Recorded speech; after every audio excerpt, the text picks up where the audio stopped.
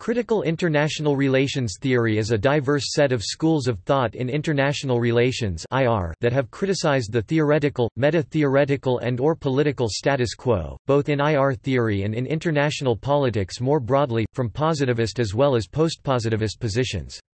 Positivist critiques include Marxist and neo-Marxist approaches and certain conventional strands of social constructivism. Postpositivist critiques include poststructuralist, postcolonial critical Constructivist, critical theory in the strict sense used by the Frankfurt School, neo-Gramscian, most feminist, and some English school approaches, as well as non-Weberian historical sociology, international political sociology, critical geopolitics, and the so-called new materialism, partly inspired by actor network theory.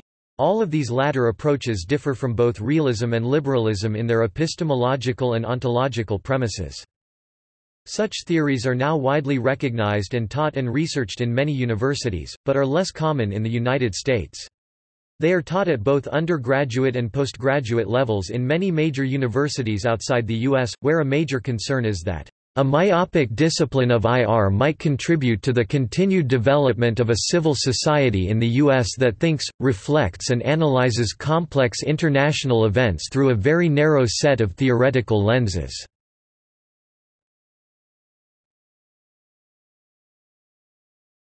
Topic. See also. Feminism international relations. Postcolonialism international relations. Postmodernism international relations